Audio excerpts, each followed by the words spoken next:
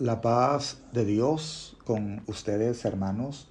Soy el Padre Elvin de los Santos Montero y quiero compartir con ustedes el Evangelio de este día. El Señor esté con ustedes. Lectura del Santo Evangelio según San Mateo.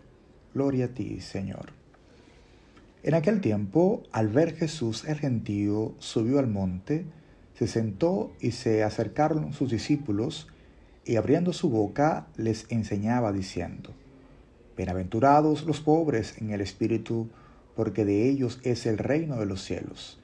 Bienaventurados los mansos, porque ellos heredarán la tierra. Bienaventurados los que lloran, porque ellos serán consolados.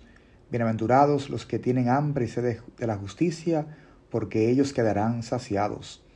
Bienaventurados los misericordiosos, porque ellos alcanzarán misericordia.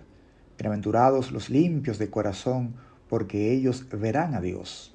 Bienaventurados los que trabajan por la paz, porque ellos serán llamados hijos de Dios. Bienaventurados los perseguidos por causa de la justicia, porque de ellos es el reino de los cielos. Bienaventurados ustedes cuando le insulten y le persigan y le calunien de cualquier modo por mi causa.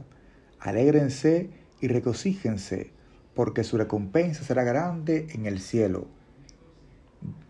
que de la misma manera persiguieron a los profetas anteriores a ustedes. Palabra del Señor, gloria a ti, Señor Jesús. Bien, mis hermanos, hoy seguimos con el lema oración y precaución y abrimos eh, los templos aquí en República Dominicana en el día de ayer con mucha oración y con mucha precaución. Hoy quiero reflexionar en torno a la pregunta ¿qué y cuáles son las bienaventuranzas según San Mateo? Las bienaventuranzas según San Mateo es la propuesta, es el código de vida que nos da Jesús para ser felices. Mis hermanos, ¿y quién no anhela ser feliz? Sin temor a equivocarnos, podemos afirmar que todos deseamos ser felices y el único que nos da la garantía de ser bienaventurados, de ser felices, es Jesús. De ahí las propuestas de las bienaventuranzas en el día de hoy. La primera es, bienaventurados los pobres.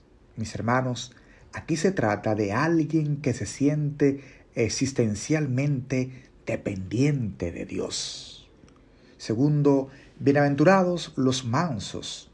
Son aquellos hermanos, hermanas, que han derrotado en sí mismo la violencia, la ira, y han entrado en la mansedumbre por la gracia de Dios. Es una tremenda victoria. Tercer lugar, bienaventurados los que lloran. Y no es cualquier llanto, sino aquellos que han entrado en la aceptación de entrar en el sufrimiento que implica el amor cristiano. En una palabra, la cruz. Es un sufrimiento que al final trae gozo, trae gloria. Cuarto lugar, bienaventurados los que tienen hambre y sed de justicia. Son aquellos que anhelan con todo su ser la justicia. Por eso tienen hambre de justicia. En un mundo tan injusto, el que promueve la justicia es perseguido, pero lo más importante es premiado por Dios. Quinta bienaventuranza, Bienaventurados los misericordiosos. Son aquellos hermanos, hermanas, que han experimentado la misericordia de Dios en sus vidas, el perdón de Dios, y son capaces de tener misericordia con los demás y lo demuestran perdonando a aquellos que le han ofendido. Secta bienaventuranza, los limpios de corazón. Se han dejado lavar el corazón con el amor de Dios. Que ojalá dejemos cada uno de nosotros que el Señor nos limpie el corazón de todo aquello que lo contamina, que lo ensucia. Bienaventurada danza número 7 es, bienaventurados los que trabajan por la paz. La paz es un anhelo de todos nosotros. No hay un ser en el mundo que no anhele la paz. Y la paz no es resultado de ausencia de problemas, de dificultades, sino de la justicia.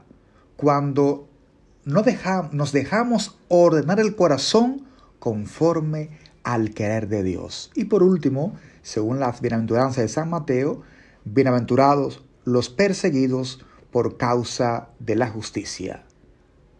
Es bueno que estemos claros que aquellos que trabajan por la paz, por la justicia, sufren persecución. Es lo que pasó con los primeros cristianos. Eran perseguidos por causa del reino, pero al final tuvieron el premio de Dios. Si estamos siendo perseguidos por el reino, preparémonos para, la gran, para el gran premio que viene de Dios. Señor, hoy nos encomendamos delante de ti y pedimos la gracia de estar ahí dentro de los bienaventurados por el reino de Dios. Amén. Mis hermanos, quiero recordarles que hoy nos juntamos en la Eucaristía a las 8 de la noche y las laudes están publicadas a las 5 desde las 5 de la mañana. Bajo el manto de María Santísima cabemos todos. La bendición de Dios Todopoderoso, Padre, Hijo y Espíritu Santo, descienda sobre cada uno de ustedes, familiares y amigos, y permanezca para siempre. Amén.